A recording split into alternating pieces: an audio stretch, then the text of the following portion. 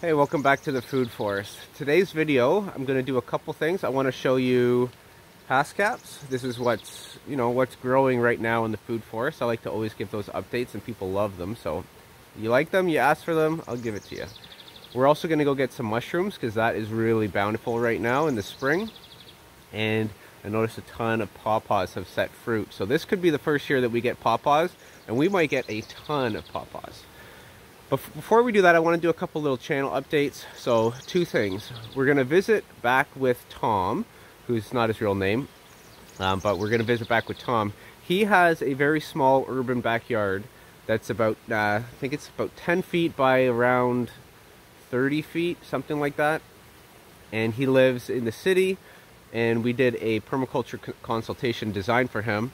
We've got videos of us visiting his small urban backyard. If, in fact, if you actually search my channel for urban, you can probably find his videos that way. Um, we did uh, an update last year. We're going to go back this probably this week and do an update uh, again, and we'll show you what it's looking like.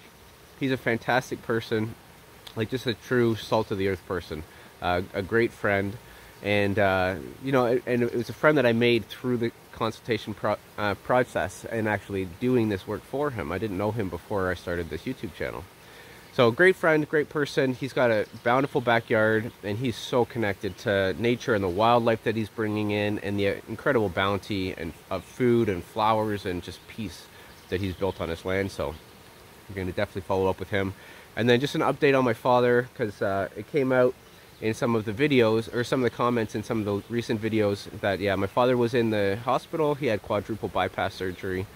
He's actually out of the hospital now. He was in and out a little bit. He had a couple rough moments there for a while. He was really rough going in. So I feel tremendously blessed to have him with us still. He's still alive and kicking and uh, being Mo. And he's back home now resting and we're kind of visiting him and helping him out so uh, thank you so much for all the kind words and prayers. I think it helped. Um, he's uh, he's a great father. I'm so happy to have him as a dad. And if you're watching this, Dad, I love you. So I hope you're proud of me. We're gonna go out and actually watch, see what's going on in the food forest right now. So let's get out there. Uh, we were picking haskaps all morning, and uh, this is what a haskap berry looks like. So they're like these little bell-shaped blueberries. Mm. And if you like Sour Patch Kids uh, when you were a kid, you're going to love these Healthy Sour Patch Kid. These are very healthy. They're very high in vitamin C and fiber. And uh, it's really, really good to eat these things raw. They're delicious. We harvest them right around now. Um, some of them can be bitter. If you get them too early, they actually taste like an olive. It's actually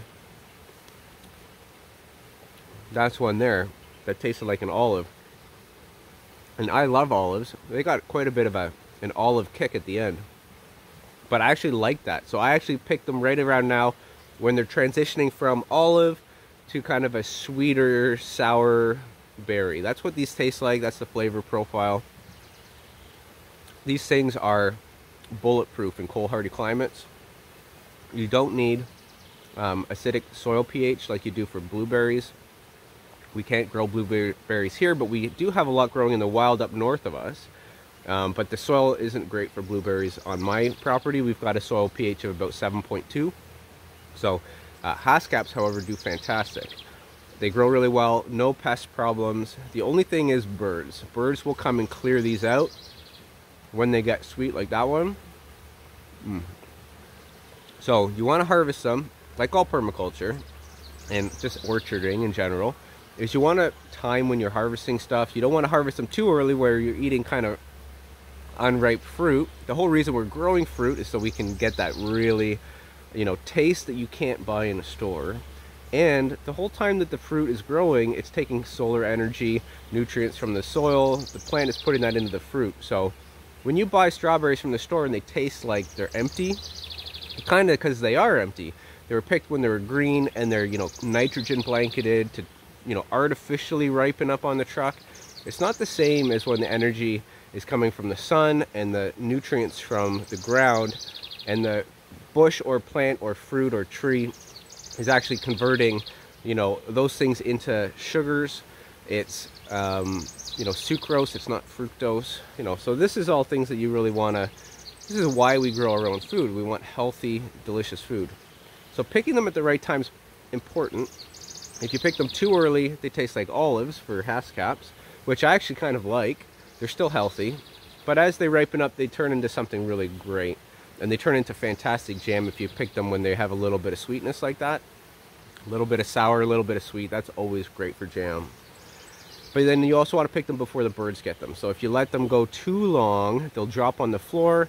You might get insect problems. Birds will definitely get a bunch of them. And you'll have a ton of Haskaps on one of your bushes one day. You'll wake up the next morning and you will have zero. You'll have none because the birds will come and take all of them. So there's a nice balance between feeding nature, which we promote on this channel all the time, but then also making sure that you get a harvest because you're doing all the work in the food forest. So let's get out there, I won't show you picking the, the Haskaps. I picked them earlier today, and then I thought, you know what, I better do a video. I'm going to be gone this weekend, so this might be the only chance to get a video out there. I'm also not going to really edit this one much. You can tell I've been rambling now for six minutes, which I normally cut a lot of this out. I'm not going to do that today, because I don't have time. But I do want to get out there, show you some stuff, and then uh, let's go going. I'll stop talking. All right, so look at this. I just went and put those Haskaps away. And I noticed right on top of my inverter, this is the uh, Fronius inverter for our solar panels, we've got a bird nest. So it must be a little nice and warm in there, nice sheltered place. We've got bird nest right up in there. I'm not sure if there's any eggs in there. I'll have to check. So yeah, we're just gonna head over to here, which is a great patch for my mushrooms. So let's head on over there. I'm not gonna edit this, I'm just gonna kind of run over there instead. And I'll show you what we got going on here.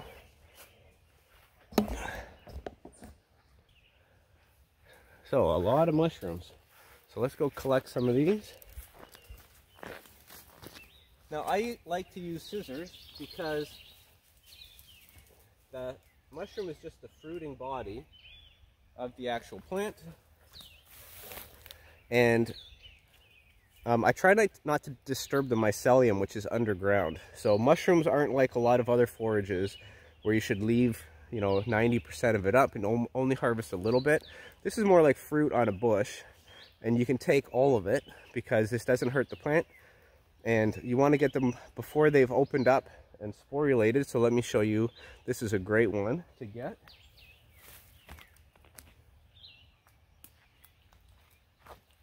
when they're smaller like this these are fantastic in like eggs or something like that or even just raw eating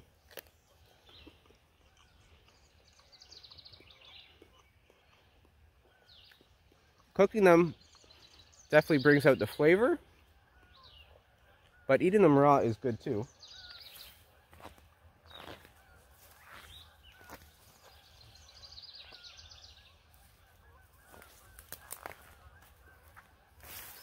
This one here, you can possibly eat this one, but I'll show you that you might want to just look inside here. See all these holes? This thing is filled with worms. So you want to definitely get them before they're like that. See all these little micro holes? I hope you can see that. But there's these tiny little worms that eat these. And they've opened up and started to drop spores. The one that this, the one that was under this, right underneath this area, is right here.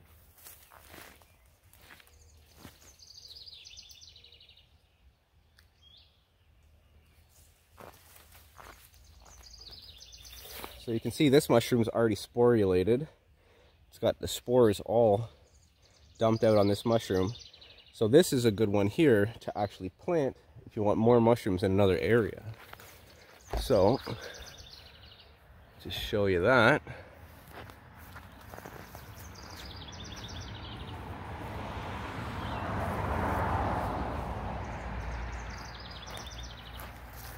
Pretty complicated, eh?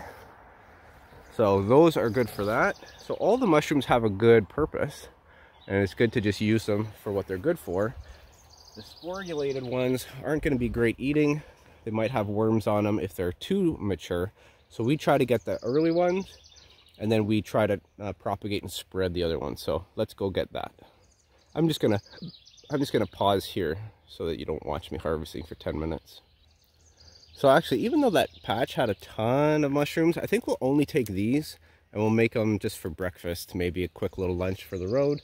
And we'll leave the rest because a lot of them are really small.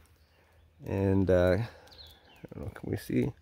Right there, like this patch here. A lot of them are really small. And that way when I come back from the weekend, they'll be perfect for breakfast on, on Monday. And moving over just a bit, I know that there's a ton in this patch here behind this multi-graft pear. And uh, I won't necessarily go back there and grab them because I really do need to get going. Trisha's going to be a little mad at me that I'm lost out in the food forest again. Um, so I'll probably leave those, but I do know they grow all in there. But I just want to show you the fruit set on the pear here. We got ton of fruit here. Okay, so now let's walk down to the pawpaws. And when we walk down, I'll talk. We'll, we'll talk down on the walk down. Okay, so here's just the general food forest and how it's doing. You can see the comfrey wall is great for all the the bees right now. So many flowers. Let me pause this and pull these legs up for my tripod. All right, that's better. Uh, sorry if the camera bounces off plants. Hey. I got it connected to the tripod right now.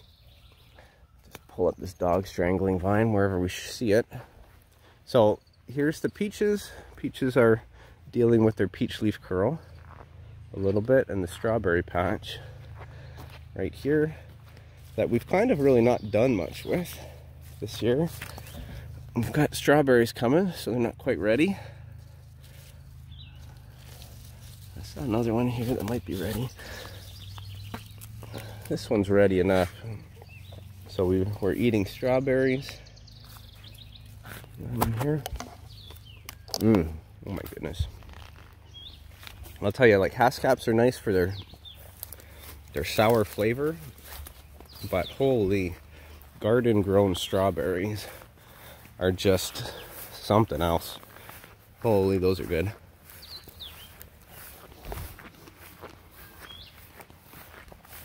Mm. All right, so down to the pawpaw area. I did check on these earlier this morning. And I thought, well, I want to show everyone my pawpaws. Getting all excited. So pawpaws, we're really pushing zone on pawpaws here. You can see this wilder area down here. Very, very wild. Came down here in the mower to try to give a little bit of a cut to this. Here's the pawpaws. Now it's funny, down here, we're getting closer to the back part of my property, which is all swamp. And when I get down in here, man, the mosquitoes get brutal. And you can really tell the difference between where I plant and have all these herbs and flowers and insect predators to take care of mosquito problems, where I have the pond. And then down here, you can probably see them. I'm guessing, I'm getting swarmed. But down here we have tons of mosquitoes. So that, like alone, I know that the planting herbs for pests works and adding water for dragonflies works. But look at all the pawpaws. We've got, oh man, I'm getting eaten. We've got a ton of pawpaws here set. We've even got some on this tree here. I saw them earlier, kind of in the back there. You see? This is the first one we've ever had on this. Am I covering it? There we go. Do you see it there? Oh, it's really hard to do one-handed. And then I did see some up here on these flowers up there. So even on this one, this is a tree that was a two feet tall maybe a year or two ago, and now it's pushing 10 feet. Pawpaws are doing fantastic in this kind of lower shady wet area. And this one is loaded with pawpaws. You can probably see them better than me, but even all the way up. All the way up there 20 feet maybe maybe even 25 feet up there. Gonna need a ladder to get them but we've got pawpaws everywhere. So tons of pawpaws. Now what'll happen from here is that the pawpaws will actually start to shed some of that because that is just way too much um, maybe if you grow pawpaws can you let me know do you thin your pawpaws and get better fruiting like that. I know for peaches and stuff, you do have to do that. Apples, I would suspect for pawpaws it's the same. That's a ton of energy that the plant needs to deal with. So let me know in the comments if you have pawpaws, do you thin them? And should I thin them? Should I thin some of those out? We're getting into wildflower here, wildflower hill here in the morning. Getting a little closer to the pond. The mosquitoes are following me in, but when I'm here, I get no mosquitoes normally. I was just down here this morning. And it is just looking fantastic.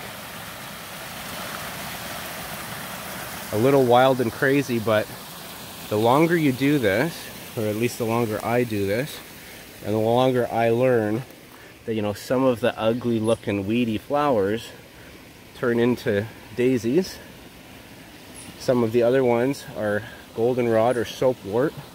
So we've got goldenrod here. And when you learn about these plants and how good they are for the ecosystem, then this wild and crazy starts to not look so wild and crazy.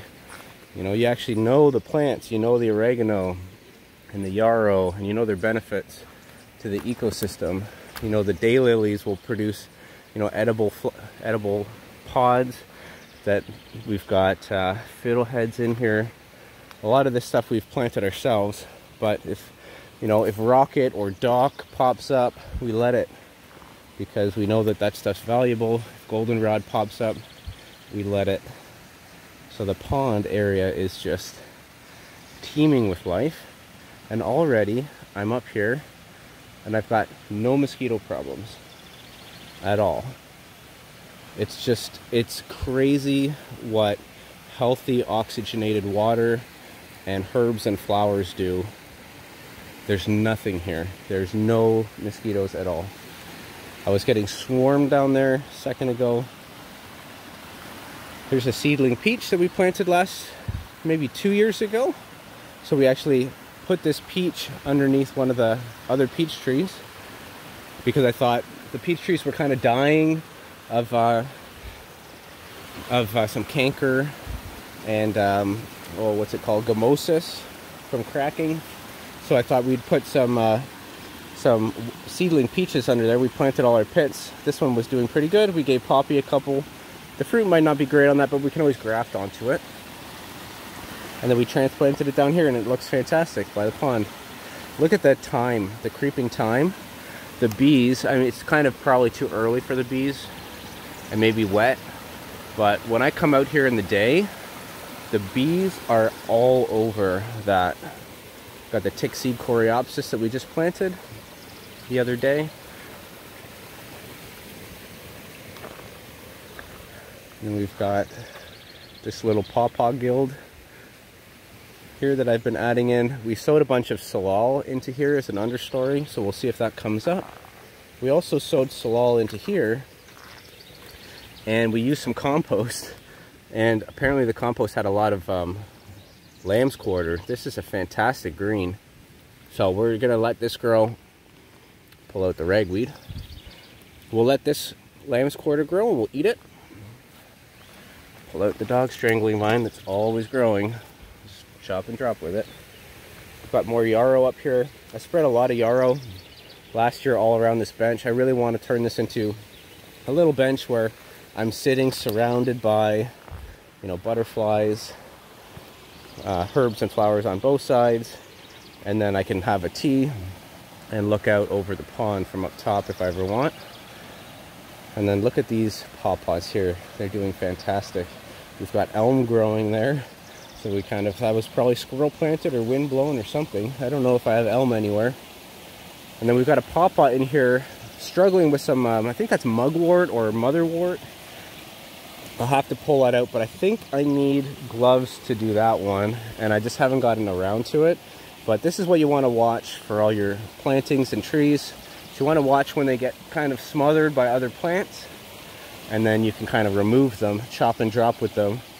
That was a volunteer that uh, I don't want to let grow and propagate into seed, so I'll have to do that and take care of that. We've got a Haskap in here that's kind of being smothered a bit by this kiwi. I think kiwis are to do that. This kiwi is going nuts. Possibly a mistake to put this right against the house, but I thought if I can put some screws in here and then trellis down, then I can have a wall of kiwi here, and I'll just have to really manage it. So this is what complete neglect looks like this year, because we've been far too busy with other things. Jenny's like a drowned rat getting out in the dew in the morning. So I think that's it. Got uh, roses there coming in from Rosa rugosa. I think that's it for the food forest update for today. I have to get going. It's 20 minutes now. You can tell when I don't edit these things, when I say like, you know, I'll go out and film like two hours of content or like an hour of content. Yeah, that's why. It's just really fun to get lost out here. And look at these beautiful flowers. Isn't this fantastic? So great additions to the food forest. can eat this, make tea with them. The rose hips are very healthy. You can make jam, rose hip jam. Look, I mean, this is why I get lost out here. You see the bees on the comfrey? Get my shadow out of there. So we got the bees just enjoying this comfrey. This is why I let it go to flower. And I know it looks kind of I mean, I think it looks nice, but it does look a little wild when it gets up this way. Another week or so and it'll start to turn brown, kind of like it's starting to do here. It'll fall over, I'll kind of push it over and then new growth will pop up.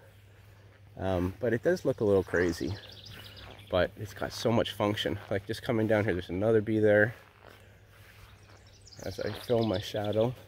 So we'll take this inside and we'll get going. Trish wants us to get going. I'll leave my food forest. It's just so hard to walk away from it. I hate when I'm not here on the weekends. But uh, I'll catch up with you probably next weekend. Oh, and uh, I don't know if I mentioned it. I think I did, but we're going to go visit Tom again and go see his food forest property. So expect an urban permaculture update probably in the next week or maybe two. I know a lot of people really love Tom. They loved his backyard and they love the urban permaculture, not necessarily this five acre stuff. Well, I'm more like one acre. Not really the one acre stuff, but they like the smaller stuff. Harry's in there looking for strawberries and, and Haskaps to nibble on. He's got a donut on his head because he got hurt, um, got caught on some chicken wire. So we removed that. Oh, thanks, buddy. So this, did you see that? He actually peed. So this is why we, anything on the ground in this area, I know the dogs can get to. So I definitely wash the stuff that's on the ground because Harry just gets in there and eats. I said I would leave, but this is just so funny. It's coming up. Hey, buddy, get some snacks? Hey, what's that? It's a donut head. Hey, what's up with the donut head? Hey, keep licking. You're such a dummy, eh? All right, see you on the next one.